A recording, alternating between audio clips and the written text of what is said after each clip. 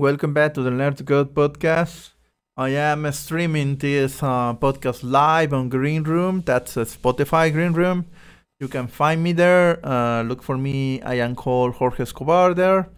Um, I am posting these episodes um, on Twitter. So if you are following me on Twitter, that will be Jorge Escobar at Twitter. And let's begin. Today's episode is going to be what software skills pay more money. Well, this is um uh, the this is an answer to a question I got into my YouTube channel, asking me for um, what um, are the more demanded software skills or programming languages that allow me to get a job faster. You know, um, the market is just that: is uh, people taking decisions with their money. So uh, in the previous episode, I gave up a list of the most demanded software development skills uh, but that not necessarily reflects um, ne- if you get the the most demanded one, that not necessarily means that you are going to get paid more. You know, being the most demanded is not necessarily the best pay uh, activity. If you are learning and you are uh, struggling to decide what to learn, and you don't want to, you if you want to optimize your effort, and you want to find out what the best skill is in order to get paid more, uh, well, I'm, going, I'm just going to say to say it right now. Number one is Scala. Scala is the number one better pay uh, program, uh, better pay job ever. At least right now, uh, July is July. What what month are we? Oh come on. Uh, June 2021, Scala is the best pay um, software skill ever. At least for today, you know. Um, anyway, number one, Scala. Number two is Golang. Let's say that you want to work as a cloud developer on the Google Cloud platform, learning Go is the way to go because, uh, pun intended, I guess. Uh, learning Golang is going to be very important for you and it's going to get you a lot of money. One, because there are not many developers and they and Google is pushing uh, its position as the number three most uh, most used cloud platform, being number two Microsoft Azure and number one AWS with Amazon. You know. Uh, uh, anyway, the the the number two is Go. Number three Perl. Uh, many young people don't even know what Perl is. Basically, it's a scripting language from from the ancient times. And uh, legend says that only the true the true scribes of Perl are still alive today. you know. Anyway, it's a it's a very fun experience learning Perl. Very difficult to do, and there is a lot of legacy code running on that. So uh, you want money, then you want to learn Perl too. Uh, Objective-C, the same. There is a lot of legacy code lying around, especially for banking apps. Eh? Wink, wink. Um, uh, and those apps are being developed and they have their base code on Objective-C. Um, in the in an ideal world, when everybody was introduced to the Swift uh, programming language, the purpose of Swift was to become a replacement for Objective-C. What actually happened is that um, these large these large code bases were developed on Objective-C, and the only way those uh, software developers move into Swift if they get a deadline. Let's say uh, Objective-C is not going to be able to compile after this date, and that never happened. So uh, with very large, with new projects, it's easy to start. Um, with new projects, it's really easy to just start um, uh, with the new programming language, in this case Swift. Uh, but the truth is that uh, not many people decided to to migrate from Objective-C into Swift, uh, and I lived through that anyway. Oh, I think there is somebody in the room. No, he left. Oh, anyway. Uh, second thing. Uh, let's say number five. Number five is Ruby. Ruby uh, is being used for Ruby on Rails. Not many people learn Ruby just because of Ruby themselves. Uh, they learn Ruby because they want to work with Ruby on Rails. And I believe there are any many other frameworks that I don't know of, but the one I know is uh, on Rails. It's Rails, and that's basically it.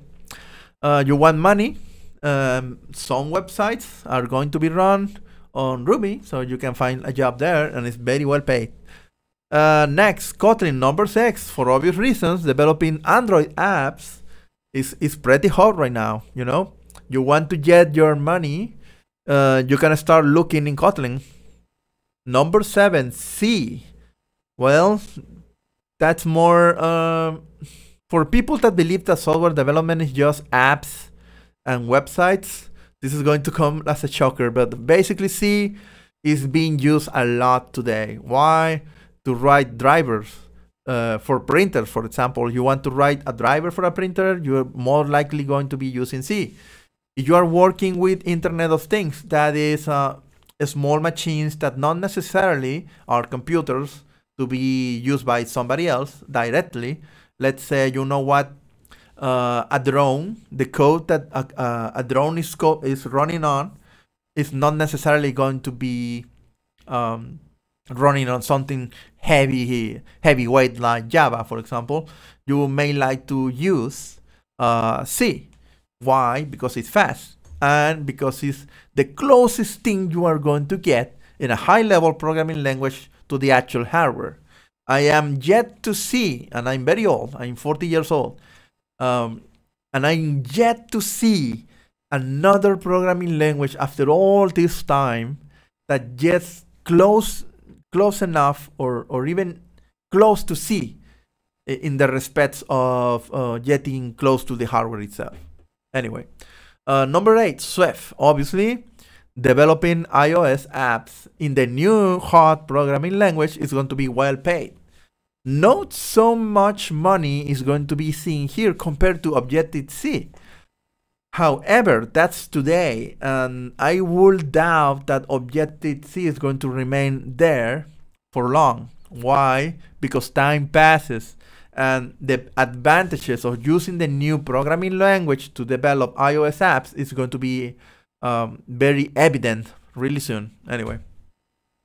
Uh, what uh, Swift number nine Bash Shell PowerShell. You know, scripting uh, making backups of your files or your databases is going to be primordial. Um, and basically automating common repeatable tasks is always welcome, you know? Uh, Java, number 10, Java. Java has a large, and, and we are getting here into the middle already. Uh, we we are in the mid range, uh, and we start with Java basically. There are uh, there is a lot of demand for Java jobs but the pay is mediocre at best. Uh, the same goes for Python, very demanded, is the most demanded. Uh, however, uh, the pay cut is mediocre. Um, TypeScript, the same thing. They are in the same bucket, mediocre pay. TypeScript, the same thing, developing websites, backend, uh, doesn't matter, the pay is mediocre. They are very um, those developers are in in the highest demand ever, but they don't pay very well. It's mediocre at best. Um, and now we get into the realm of the less pay money for. uh, we start with C++.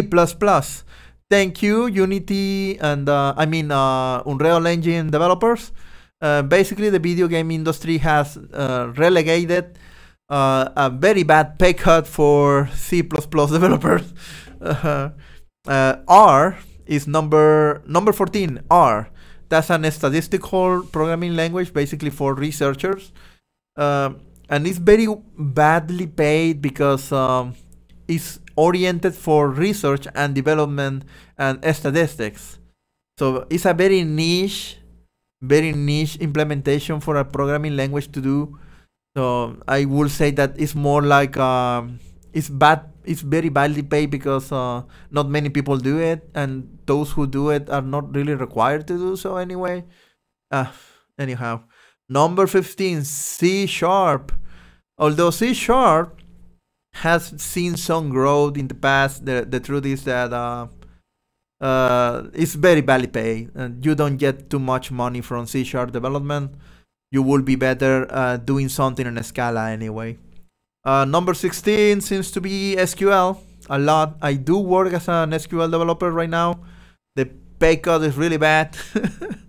but uh, I am allowed to do that remote and I don't have to be enslaved to my terminal all day. I can just uh, publish some updates, get my money, and uh, do whatever I want, like recording a podcast.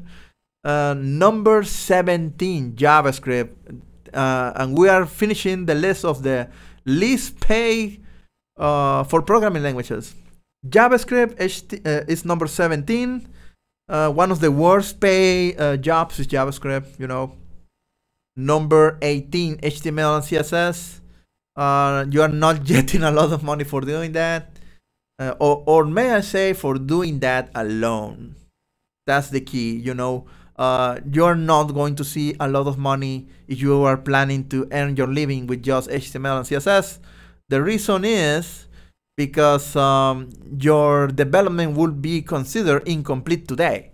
Maybe in the early 2000s when you don't really need anything else but um, a really cute website and that's it. Uh, maybe HTML and CSS will be enough. Not today. It's basically, uh, it shares the fate as databases. Um, you know, it's not expected for me to earn a living just doing databases or HTML and CSS. Uh, it's just a part of the toolkit. It's not the toolkit itself. Number 19 is PHP. Oh my God, who works with PHP? It's a, it's a real torture. And maybe I am biased because of my inability to read somebody else's code in PHP and do something useful with it. Basically, PHP developers became a cog in the machine uh, if you don't have the original developer working on the project, you are pretty much doomed. Uh, and last place on worst uh, pay programming languages is number 20, VBA. That's Visual Basic. And uh, I don't know. I don't want to talk about it. that's the that's the last that's the last uh, the, the, the worst pay uh, programming language is going to be VBA nobody cares, uh, nobody will. Well, if you do that, you're probably just um, uh, you just got out of college, you know, and they teach you programming with VBA and you're just stuck there because you are afraid to learn something else. Uh, just get on with it, learn something else, and go on with your life. Well, uh, just a quick review of the entire list. Number one, the best paid job you're going to find is going to be Scala, number one. Number two, Go. Number three, Better. Number four, Objective-C. Number five, Ruby. Number six, uh, and this is the, uh, well, that's all the, the five the better paid jobs. Is number one, Scala, Go, Perl, Objective-C, and Ruby. In the mediocre, in the medium to mediocre at best range, we have uh, Kotlin, C, uh, Swift, Bash, Shell, and PowerShell, uh, Java, um, Python, and TypeScript.